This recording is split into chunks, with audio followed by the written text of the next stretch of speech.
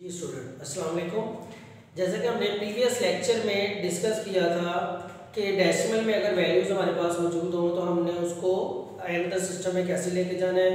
अगर बाइंड्री में लेके जाना है तो टू के साथ एलसीएम लेंगे. ऑक्टल में लेके जाना है तो एट के साथ एलसीएम लेंगे. और अगर हेक्सा में लेके जाना है तो सिक्सटीन के साथ एलसीएम लेंगे. अब मैं आपको बताऊँगा कि हमारे पास अगर वैल्यूज़ बाइंड्री में हो ऑक्टल में हो और हेक्सा में हो उसको डेसिमल फॉर्म में कैसे लेके जाना है? जैसा कि एग्जांपल नंबर वन में आपको बता रहा हूँ कि convert the binary system into decimal system अब बाइनरी सिस्टम क्या है? One zero one one zero one तो देखिए बेटा, चूँकि बेस टू है, इसमें हमारे पास लेस देन टू वैल्यूज़ आएगी। यानी कि वन और ज़ीरो इसमें टू इंक्लूड नहीं होगा। तो जो भी बेस हमें दी गई होगी, उस बेस को आपने अंदर वाले डिजिट्स के साथ मल्टीप्लाई करना है। One multiply by two zero multiply by two, one multiply by two, one multiply by two, zero multiply by two and one multiply by two. तो पूरी वैल्यूज़ को आपने इसके साथ मल्टीप्लाई करना है। फिर आपने राइट हैंड साइड से पावर लगानी है बेस के ऊपर लगानी है। Zero, one, two, three, four and five. देखिए बेटा, आपने जो पावर है, वो ब्रैकेट के बाहर मेंशन नहीं करनी। ब्रैकेट के अंदर जो हमारे पास बेस है, उसके ऊपर लगानी है। अगर आप ऐसे करेंगे तो ये आपके पास गलत हो जाएगा। इससे हमारा आंसर गलत आएगा। आपने पावर जो है, वो बेस के ऊपर लगानी है। अब two raise two power five thirty two होता है। ज़ीरो वाली जो वैल्यू होगी, उसका आपने डायरेक्ट ज़ीरो लिखना है, क्योंकि जब मल्टीपल ज़ीरो है तो ज़ीरो के साथ मल्टीप्लाई होकर आंसर ज़ीरो आएगा। तो two raise two power three eight two raise power two four and two raise power one क्योंकि ये भी ज़ीरो है तो डायरेक्ट हम ज़ीरो से मल्टीप्लाई करके, अगर किसी भी रकम की ताकत ज़ीरो आ जाए तो वो वन के बराबर होती है। थर्टी टू को वन से मल्टीप्लाई करेंगे, थर्टी टू, ये ज़ीरो आ जाएगा, टू रेस टू एट को वन से मल्टीप्लाई करेंगे एट फोर वन जा फोर और वन वन जा वन थर्टी टू को एट में ऐड करेंगे तो फोर्टी फोर ऐड के फोर्टी फोर और वन फोर्टी फाइव और बेस हमारे पास क्या आ जाएगी? टेन क्योंकि हमने बाइनरी को किसमें कन्वर्ट करना है? डेसिमल में. यानी कि जो हमारे पास बेस टू में है, उसको बेस टेन में लेके जाना है. तो आप उसके नीचे टेन बेस लगा देंगे. तो ये हमारा आज का क्वेश्चन है नेक्स्ट जो हमारे पास मैंने आपको क्वेश्चन मेंशन किए हुए हैं ये आप घर पे प्रैक्टिस करेंगे प्रैक्टिस करने के बाद आप इसकी तस्वीरें खींच कर या तो मुझे व्हाट्सएप करके फिर चेक कर लें। अगर कोई गलती होगी तो मैं आप उसको, आपको कमेंट बॉक्स में उसका आंसर भी दे दूँगा। थ्रू आप व्हाट्सएप भी आपको उसका आंसर मिल जाएगा। जी नेक्स्ट हमारे पास है convert the octal system into a decimal system अब ऑक्टल सिस्टम की बेटा जो बेस है हमारे पास 8 है।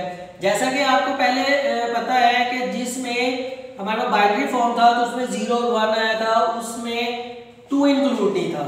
इसमें चूँकि बेस 8 है, लेकिन इसमें 8 शामिल नहीं होगा। अगर आप इसमें 8 वैल्यू आ जाती है तो इसका मतलब आपका क्वेश्चन गलत है। अगर आपके पास कोई क्वेश्चन ऐसे आ जाता है क्योंकि ये बेस एट है तो इसमें नाइन इंक्लूड नहीं होता। एट भी इंक्लूड नहीं है तो ये क्वेश्चन ही रॉन्ग हो जाएगा। ठीक है? तो हमारे पास टू थ्री और फाइव लेस देन एट है। इसलिए हम इसको डेसिमल में कैसे कन्वर्ट करेंगे? सेम वही प्रोसीजर है। Two multiply by eight multiply by eight and five multiply by eight eight raise two power two sixty four के बराबर होता है. Eight raise two power one eight और eight three jar twenty four eight raised power zero किसी भी रकम की ताकत अगर ज़ीरो आ जाए तो वो वन के बराबर होती है. 64 को टू से मल्टीप्लाई करेंगे वन टू एट आएगा. 24 आएगा और फाइव वन जा फाइव इन सबको ऐड करेंगे तो 157 हमारे पास आंसर आ जाएगा और इसकी बेस हमारे पास क्या बन जाएगी? 10 ठीक हो गया बेटा? तो ये हमारे पास आ गया ऑक्टल को हमने कन्वर्ट कर दिया बेस टेन में यानी कि डेसिमल फॉर्म में। और ये कुछ क्वेश्चन मैंने वैसे लिखे हुए जैसे कि पहले भी मैंने आपको प्रीवियस लेक्चर में भी कुछ आ, काम दिया था कैसे करने के लिए तो इसमें भी मैं आपको दे रहा हूँ थ्री फाइव थ्री ये प्रैक्टिस आपने करनी है। Two thirty five one three five eight and five seven ये तमाम के तमाम जो है हमारे पास ऑक्टल में है हमने इसको डेसिमल में कन्वर्ट करना है। जी। जी बेटा, अब नेक्स्ट हमारे पास है convert the hexadecimal system into a decimal system यानी कि हमारे पास बेस 16 दी हुई है, उसको हमने डेसिमल फॉर्म में चेंज करना है। जैसा कि आपके पास क्वेश्चन है, a 2 और बी ये क्वेश्चन a को मल्टीप्लाई करेंगे 16 से 2 को मल्टीप्लाई करेंगे 16 से और b को मल्टीप्लाई करेंगे 16 से. जैसा कि प्रीवियस क्वेश्चन में भी हमने किया जो भी बेस दी गई होगी, उसको हम अंदर वाली वैल्यूज़ के साथ मल्टीप्लाई करेंगे। पावर वैसे लगानी है ज़ीरो वन एंड टू क्योंकि यहाँ पर ए है तो हेक्साडेसिमल के अंदर ज़ीरो से लेकर नाइन तक काउंटिंग होती है।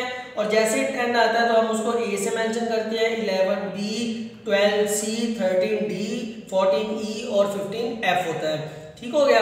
अब यहाँ पर ए की जगह हम टेन प्लेस करेंगे टू एज इट इज़ आएगा बी की जगह इलेवन प्लेस करेंगे। अब देखो sixteen raise to power two two fifty six के बराबर होता है। Sixteen raise to power one thirty sixteen को टू से मल्टीप्लाई करेंगे।